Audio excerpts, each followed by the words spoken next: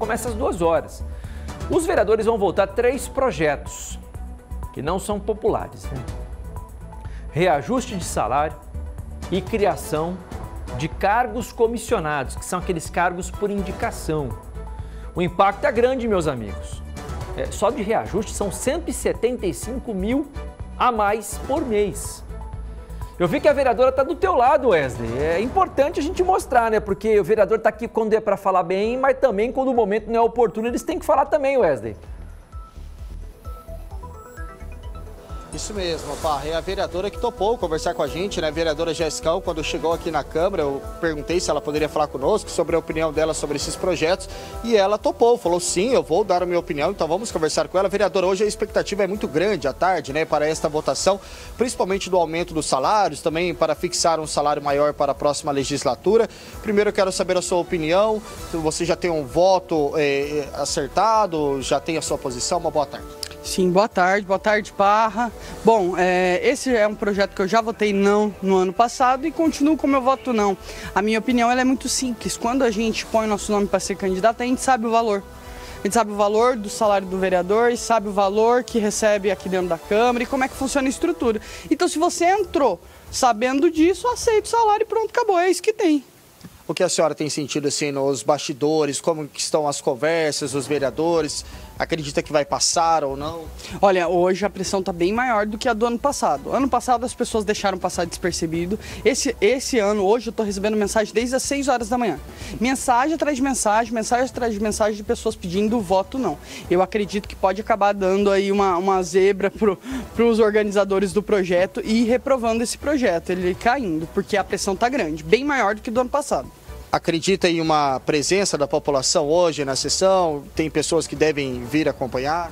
Bom, eu acompanhei alguns grupos de fiscalização aqui de Londrina e várias pessoas estão confirmando que estarão aqui hoje na Câmara para cobrar o voto não dos vereadores. Agora, Parra, hoje também é, nós tivemos acesso né, a uma emenda a, a, esse projeto que foi apresentada aí pela vereadora Mara Boca Aberta.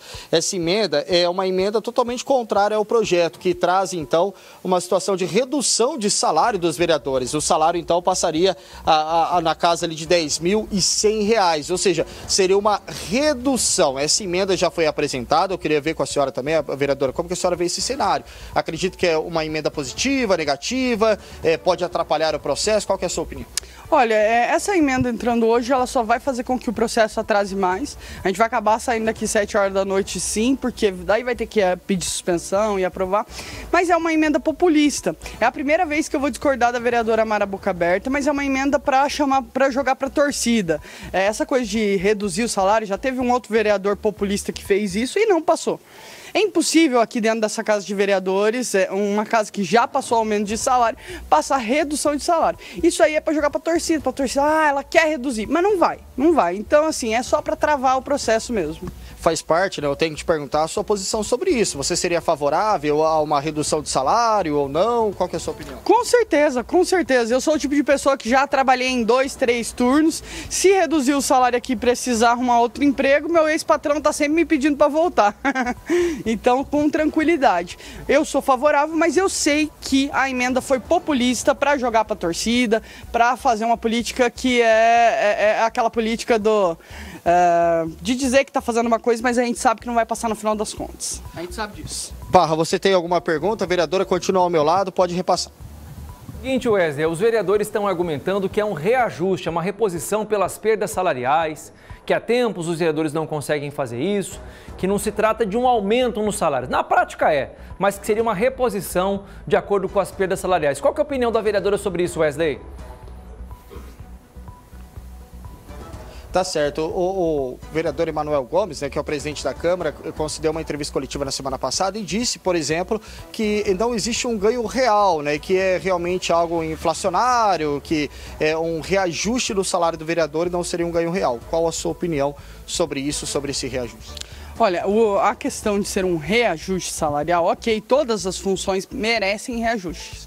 Porém, há um momento que nós estamos passando com muita dificuldade, outros setores estão precisando agilizar essa questão do reajuste salarial e eu acho que com o salário que a gente está ganhando hoje, dá para esperar um pouco mais para ter esse reajuste.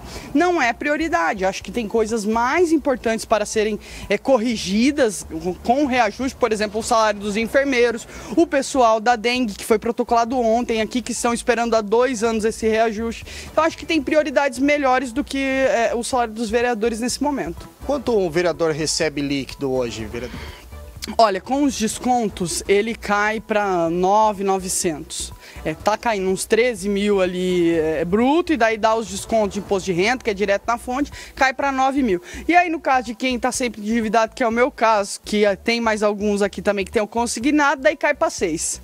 Tá certo. Vereadora, obrigado pela atenção. Hoje à tarde, então, vai ter a sessão que começa aí a partir das duas horas da tarde. A expectativa já é muito grande aqui na Câmara Municipal, viu, Parri? Nós vamos continuar aqui. Se algum outro vereador passar, também quiser dar a sua opinião aqui no Balanço Geral, nós estamos acompanhando de perto e hoje, claro, no Cidade Alerta, a cobertura de tudo que aconteceu na Câmara. O projeto de reajuste salarial e esse também, essa emenda para reduzir o salário dos vereadores. O que vai acontecer, nós vamos mostrando, claro, aqui na tela da RIC TV. Valeu, Wesley. Obrigado, vereadora Jessicão foi muito sincera, hein? Foi muito sincera na entrevista dele. Falou lá, ó, se, se, se precisar trabalhar em outro emprego, eu vou trabalhar. Meu ex-patrão vive pedindo. Tem empréstimo consignado na casa. Eu recebo 6 mil líquido por mês. Porque o que era para receber, uma parte vai para pagar empréstimo. Ela foi sincera. Eu, pelo menos, achei isso na fala dela. Agora, eu preciso dizer o seguinte: de forma alguma, de forma alguma, porque depois alguns vereadores podem se sentir ameaçados por conta disso. Nós não queremos jogar o povo contra a Câmara. Se a Câmara de Londrina, e não estou dizendo que é de hoje isso, não é bem vista pela sociedade, não é por culpa da imprensa. Não é por culpa da imprensa. Só para deixar claro isso, porque fala assim: ah, vocês ficam jogando para a galera, vocês ficam fazendo o povo ficar contra a Câmara. Não. Se vocês vão votar um projeto que impacta no nosso bolso, meus amigos, é claro que a gente vai falar. O Alexandre falou o seguinte: você sabe, né, Parra, no passado poucos projetos foram apresentados pelos vereadores. Para mim não é justo.